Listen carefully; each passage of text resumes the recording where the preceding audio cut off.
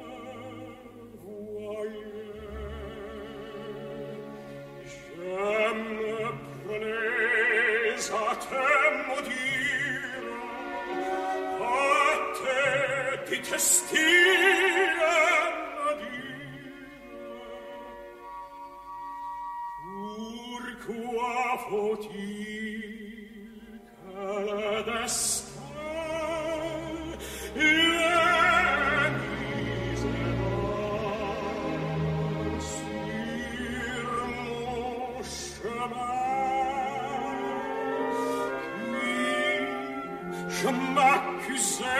de blasphème, et je ne sautais